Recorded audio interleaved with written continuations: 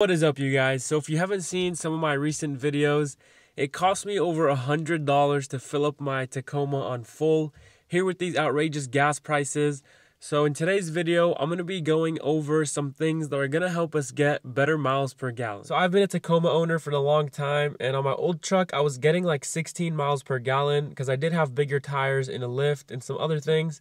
But on this one, I'm getting about 18 and that's because I do have my stock tires on and it's obviously combined city and highway. So the first thing that's gonna have the biggest impact on your miles per gallon is gonna be your driving habits. So maybe, you know, if you're jumping the gun on those lights, pressing too much on the gas, going too fast, even braking too often and then obviously reaccelerating because that's what comes after braking. All these are ways that are going to affect your gas mileage and it's basically the biggest thing. Even if you have a super economical car and you're just flooring it all the time, you're not going to get good gas mileage.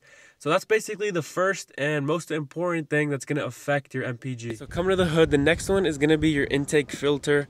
Now on the Tacoma, it's right here so here it is and if yours is super dirty and super old my I mean I mean my truck's only two months old so it's not to be dirty at all but if yours is super dirty, this can actually affect, you know, how much oxygen is going into your engine. And on the same note, there's also performance intakes that you can buy that will actually help increase, obviously, performance and MPG. All right, now it's coming to the tires. You want to make sure your tire pressure is always monitored. My specific tire size, which is 265 70 R16, it should be at 30 PSI.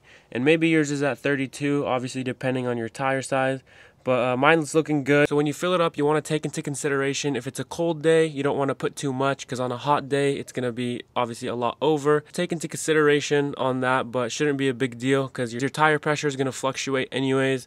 But just keep it over that 30 that it says. And if yours says 32, I just like to keep mine at 33. And the next one still with the tires is going to be your actual tire size. So on my old Tacoma, I had some huge 265, 75, 16 off-road tires. So they're pretty big. They're BF Goodrich, and you can actually get them using the link in my description below. Actually, one of the reasons why I haven't upgraded yet is because how much it affects your MPG. So as soon as I got bigger tires on my old truck, my miles per gallon went down like one or two right off the bat, and it affected it a lot. So that's one of the reasons why I just haven't upgraded yet on this specific Tacoma.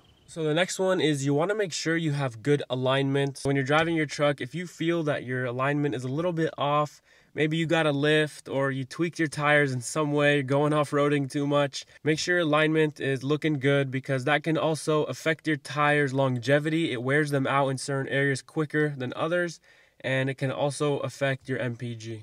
All right, so another one is when you hop in your truck and you go ahead and turn it on, let your engine idle just for a little bit because your truck works best when your engine is warm and that's when it's at peak performance. So another one is going to be having a bed cover right here. I have one you guys can go and get using the link in my description below, which is going to be the same one right here.